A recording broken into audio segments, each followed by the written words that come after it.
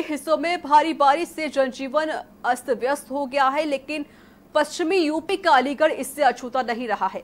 भीषण पड़ रही उमस से भारी गर्मी व बारिश न होने को लेकर अलीगढ़ के इगलास तहसील के एक गाँव, सिकुर्रा में चार छोटी छोटी बहनें तब कर पर बैठी हुई हैं। जानकारी करने पर चारों बच्चियों और उनके परिजनों ने बताया कि इन दोनों सावन के माह चल रहे हैं।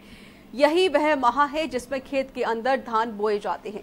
लेकिन यहाँ पर चले पिछले सात आठ माह से बारिश की एक बूंद तक खेत में नहीं गिरी है, जिसके चलते पूरा क्षेत्र सूखा हो चुका है। इसलिए चारों छोटी छोटी बहनों ने प्रण करते हुए इंद्रदेव की आराधना शुरू कर दी है और खेत में जाकर तप कर रही हैं।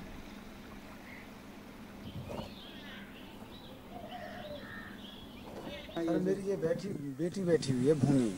इससे मैंने बहुत मना किया ये बोली नहीं सूखा पड़ रही है पापा मैं तो बैठूँगी तब के लिए इन्होंने आखिर ये चारों बेटियों ने अपने आप धूमी लगा ली सुबह ग्यारह बजे। बहुत तो, मना करने पर भी। तो क्या इन्होंने कुछ खाया वगैरह है? क्या नहीं कुछ नहीं खाया ऐसा सुबह से।